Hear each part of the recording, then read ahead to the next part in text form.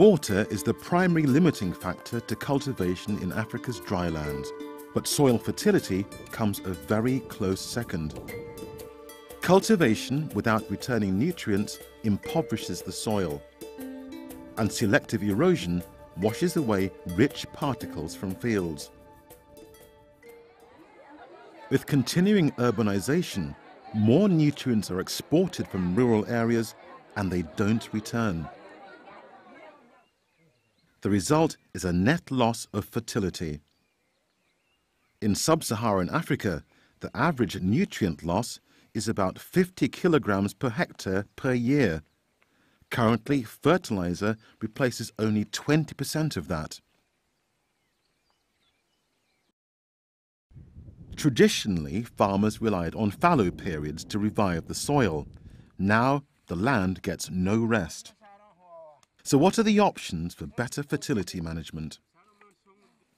In Burkina Faso, farmers turn organic waste into a resource through composting. Projects have succeeded in stimulating adoption. People continue to construct compost pits, even without help from the project, because they know the importance and added value of this organic manure in their fields.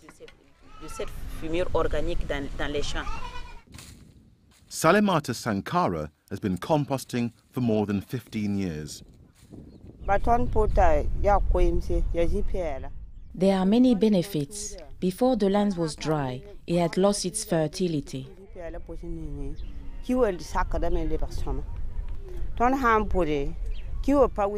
When I started with this practice, on an area of two hectares, I could harvest only two to three carts of sorghum.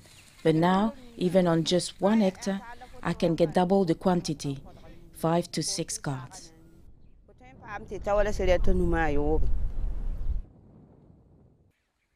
And Burema Ouedraogo has gone further, developing an integrated approach. He realizes that composting reduces reliance on external inputs. Including animals in the farm helps as long as manure and urine is collected and composted. But organic composts and manures can't sustain the land alone. Inorganic fertilizers are needed to fill this gap. A combination is best. Fertilizers supply nutrients, while organic inputs replenish carbon-rich soil organic matter. Precision microdosing of fertilizers is a new way to optimize impact and reduce costs. Jacques Sawadogo supervises a microdosing project in Burkina Faso. Microdosing means applying a small quantity of fertilizer in the planting hole at the time of sowing or after the emergence of the crop. For sorghum, the microdose is 2 grams per planting pit.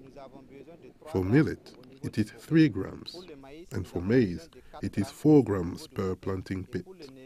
For cowpeas, 2 grams is best. The microdose has multiple benefits. First of all, by reducing the quantity applied, farmers save money as fertilizers are very expensive. Secondly, the microdose increases yields significantly even three times as much as before. It really raises production. Thirdly, farmers do not need to cultivate large areas. A smaller area is sufficient to produce for their family's needs, to provide food for their family. When farmers practice microdosing, there are surpluses of grain. They save this at their cereal bank in the form of credit. On the basis of their credit, they can get money to invest in income generating activities. A farmer field school in each village helps with training. These schools without walls allow farmers to learn from each other. New practices are demonstrated, in this case, microdosing. Farmers learn to compare the impact of improved technologies on their crops. Seeing is believing and results in the field have convinced many to take up the practice of microdosing. In the villages, Farmers also prepare compost and apply it to their zai planting pits. There are many ways to keep the soil in good shape for the future. Fertility management plays a crucial role in achieving food security and in building up the health and resilience of the agricultural ecosystem as well. It's achieved through mutually supporting practices, not just composting and microdosing, but rotations with nitrogen-fixing legumes, use of agroforestry trees, and bringing animals into the system. Integrated soil fertility management means caring for the land. It can only continue producing food if nutrients are replenished in return.